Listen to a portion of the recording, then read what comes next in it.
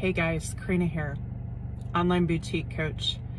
And here's your reminder, you are in business to make money. You're not in business to give discounts to people for no reason, to let your customer tell you what to do and how to run your business and how to price your products. You have access to things that other people don't have access to when you have an online business and it is a reputable one.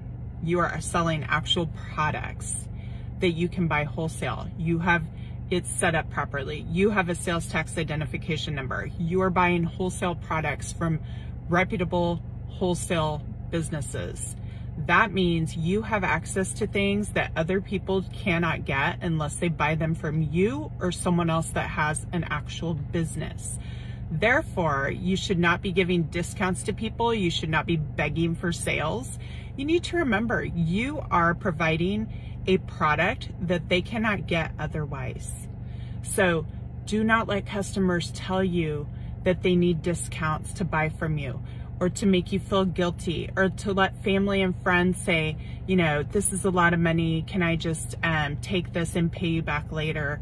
Or can I make payments? I, I can't even count the things that that people have said to me over the years. Well, I helped you with um, that one thing, so can I just take a top or two just to pay me back? Um, you've got to remember that you are the one doing the work. You put together the business it's an actual business. Get your self-esteem up, be a real business owner, and make yourself profits. That's what you're in business for. It's to make profits. It's not to make friends. It's not to be everybody's favorite person. You need to make profits or your business isn't going to be there. Most businesses fail, and part of the reason is lack of profitability. And that can happen. And I've had it happen to me, especially when I was first starting out where customers were saying, oh, you're too expensive.